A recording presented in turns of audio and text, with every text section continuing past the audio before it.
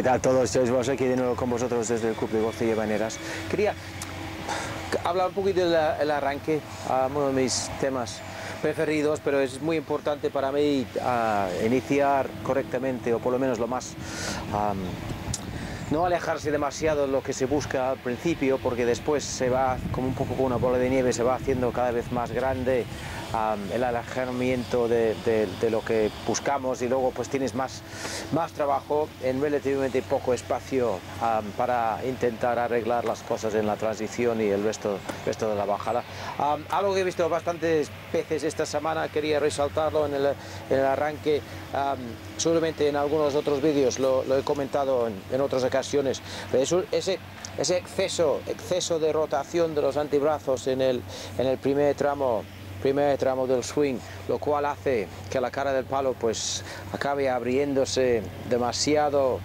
para mi gusto en el, en el, en, el, en, el, arranque. Y además como el palo empieza a ir excesivamente hacia atrás, muchas veces pues hace que el hombro izquierdo acabe acabe subiendo demasiado la columna, hace que el cuerpo no,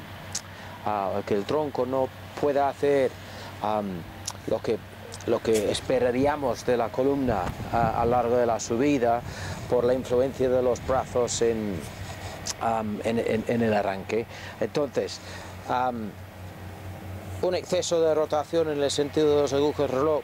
tiende a, abrir excesivamente la, cara del palo, hace que la cabeza del palo se coloque excesivamente, excesivamente hacia atrás respecto al el, cuerpo del jugador, también hace que el, que el hombro izquierdo tienda a subir, tres cosas que queremos intentar evitar. Sabéis que lo que buscamos aquí en el arranque más bien es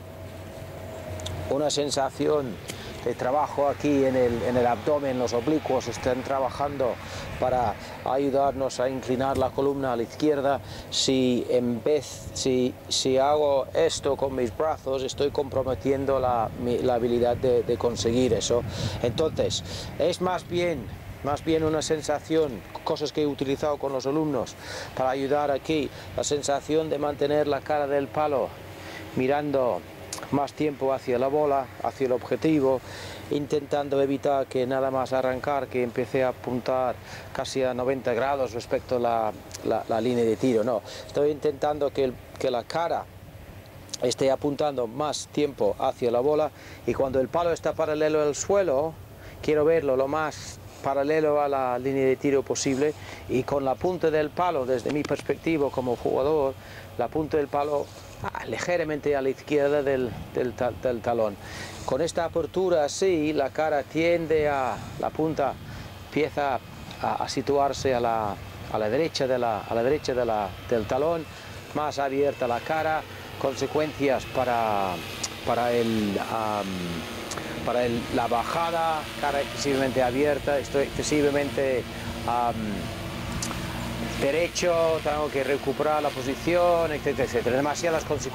complicaciones para la gran mayoría de jugadores. Muy bien, espero que esto ayude y de aquí a poco estaré de vuelta con vosotros. Adiós.